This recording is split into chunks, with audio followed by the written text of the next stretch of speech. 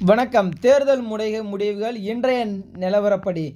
மாநகராட்சி இருபத்தொரு மாநகராட்சியில் இருபத்தி ஒன்றுமே திமுக முன்னிலை வைத்து வெற்றி பெற்று வருகிறது. மற்ற கட்சிகள் ஒரு இடங்களை கூட பிடிக்கப்படவில்லை. அதைத் தொடர்ந்து நகராட்சிகளில் நூற்றி முப்பத்தெட்டில் நூற்றி இருபத்தேழு திமுகவும் அதிமுக ஆறும் பிற கட்சிகள் நாலும் என்று பிடித்துள்ளது. மற்ற கட்சிகள் எதுவுமே ஒரு இடத்தை கூட பிடிக்கவில்லை. அதைத் தொடர்ந்து பேரூராட்சியில் நானூற்றி எண்பத்தொன்பதில் முன்னூற்றி முப்பத்தி ஒன்பது திமுகவும் இருபத்தேழு அதிமுக அதிமுகவும் பிற கட்சிகள் இருபது முப்பத்தி நாலும் பாமக மூன்றும் பிடித்து அபார வெற்றி பெற்றுள்ளது.